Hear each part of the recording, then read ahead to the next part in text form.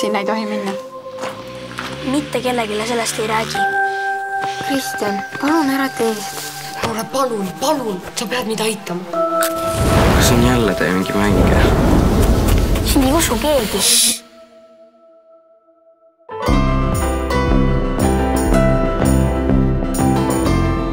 Tööstuskompleksi territooriumil lastel viibimine rangelt keelatud.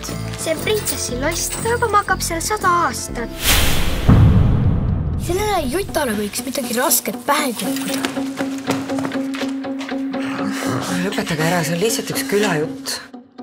me oleme nii profid. oh, ära turni seal. ärge petke seda palli niimoodi ja kas te midagi normaalsemat ei oska teha või? Lisandro! teda ei olnud kodus. lapsed, kuulake sõna. ta on pervert. see ei tohi siin enam olla. sa ei tohi sellest mitte kellelegi rääkida. nii ja Margot? ei võta sind muide kaasa. ega te enam selle paremetes mängimas ei käi? ah? ei käi. äkki tahad ise auku minna? mis sa teda sinna jätta? reetur.